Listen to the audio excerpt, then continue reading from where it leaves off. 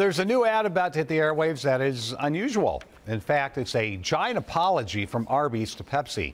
And the Arby's entire spot is what you see, just a simple shot of the drink in a white room. two Natalie commercials a Nye spoke with the Minneapolis based ad Well- agency that saved the day after a big mistake. Arby's has an agreement to feature their good friend Pepsi in two commercials a year.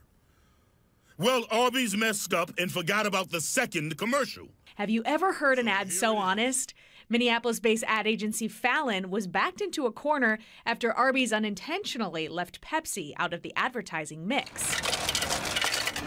we found ourselves in a bit of a in a bit of a pickle where we needed to uh, sort out how we were going to get their partner Pepsi into one of their spots. Instead of shoehorning a soda curly fries shot into their already finished campaign, they decided to show their cards. The creative team here thought, why don't we just admit it? Admit that it was a bit of a slip up and be unapologetic about it. So they stripped it down, put the pop on a white background, and backed it up with the booming voice of actor Ving Rhames. So here it is Pepsi.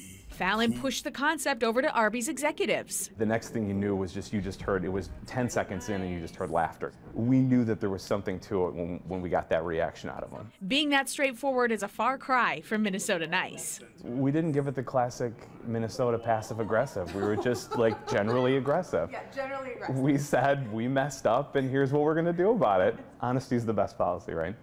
Arby's. We have Pepsi. The ad won't air all over the country, but you will see it around here starting next week.